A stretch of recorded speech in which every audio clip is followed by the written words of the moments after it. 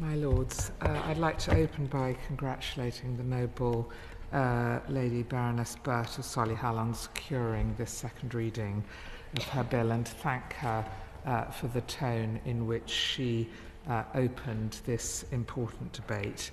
Um, and like others, I'd also just like to acknowledge uh, the courage of those noble lords and noble uh, baronesses who've experienced direct uh, discrimination or prejudice because of their sexual orientation.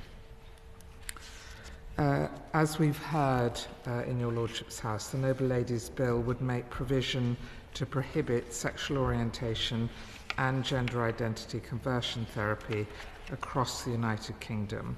And the government shares the Noble Ladies' goal to protect uh, vulnerable people from harm, and it remains our intention to publish a draft bill for pre legislative scrutiny. However, I must express reservations about this bill and raise concerns relating uh, to four areas uh, the definition of conversion therapy, the inclusion of suppression within the offence, the use and lack of definition of gender identity, and the proposed territorial extent of the bill. And a number of these issues have been raised by your lordships uh, today. But taking these issues in turn, firstly, in terms of the terminology and definition, the government now uses the term conversion practices to reflect the fact that conversion acts take a range of different forms and to avoid conflation with legitimate talking therapies. Furthermore, I'm also concerned that the definition is very wide in scope, appears to lack precision and clarity, and therefore leaves it vulnerable to misapplication. And it's vital that any legislation targeting these harmful practices does not affect the ability of parents, teachers, counsellors, religious leaders, or healthcare pr- practitioners to have open, exploratory, and sometimes even challenging conversations, particularly with young people who are expressing or exploring their sexual orientation and or their gender identity. In particular, I worry that such a broad definition would create a chilling effect for those working in the legitimate clinical care sector who may feel too nervous to conduct their jobs out of fear of potential criminalisation. This in turn could negatively impact those people who are seeking and indeed needing support in relation to feelings of gender distress, gender dysphoria, or indeed in coming to terms with their sexual orientation.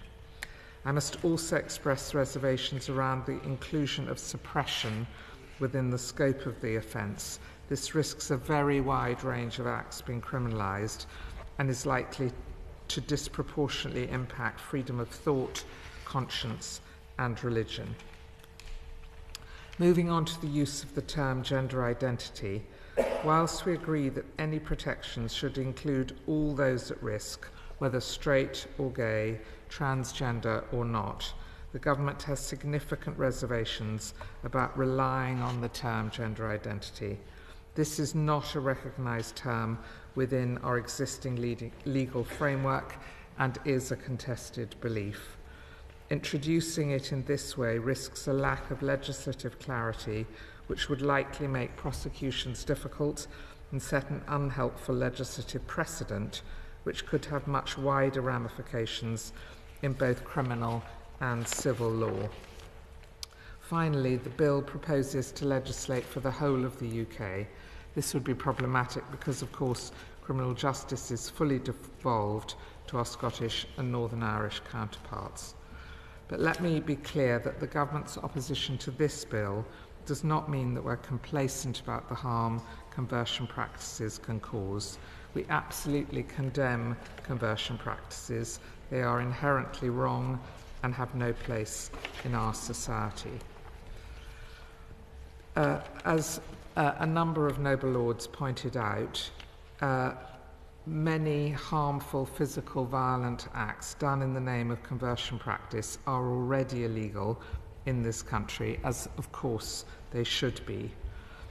as equality ministers have said, these acts are aimed at changing someone else's identity, whether that be to or from being lesbian, gay, bisexual, or transgender, or indeed heterosexual, and have no place in UK society.